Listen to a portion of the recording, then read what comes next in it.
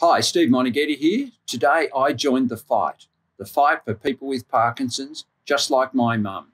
The 27 for Parkinson's Challenge is back. This year you can choose to walk, run, or fundraise your own way for 27 days this October. You might want to run like me, or walk, skate, paint, dance, or even garden. All funds raised will ensure people with Parkinson's have free access to the support they need. Sign up for free today at 27forparkinsons.org.au. Cheers.